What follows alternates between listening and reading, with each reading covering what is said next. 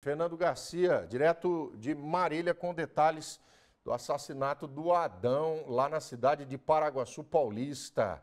Fernandão, tá presa a assassina não? Tá nada, Rodrigo. A polícia ainda está à procura dela, viu? Ela é considerada foragida.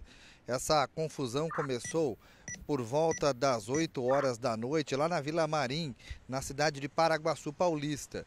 Uma discussão violenta entre o Adão, o Adão Flávio, e a sobrinha da esposa dele.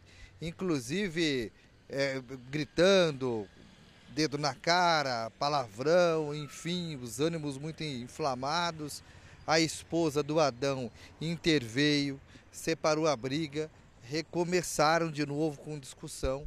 Eis que ela pegou de uma arma um revólver e atirou duas vezes contra o Adão. Um dos tiros acertou a vítima na testa. Inclusive, o Adão ficou caído ao meio-fio, aguardando o socorro que veio, veio rápido. Inclusive, ele foi levado para a Santa Casa de Paraguaçu Paulista e, diante da gravidade dos ferimentos, foi trazido aqui para o Hospital das Clínicas, para onde são encaminhados os casos mais graves e de periclitação à vida. Só que aqui no Hospital das Clínicas, médicos, enfermeiros, auxiliares de enfermagem fizeram de tudo, mas não conseguiram salvar a vida do Adão Flávio, que acabou não resistindo a este grave ferimento. Região da cabeça, né, Rodrigo? É bastante complicado, né? Muitas vezes, quando sobrevive, fica com graves sequelas, enfim, mas não deu para salvar.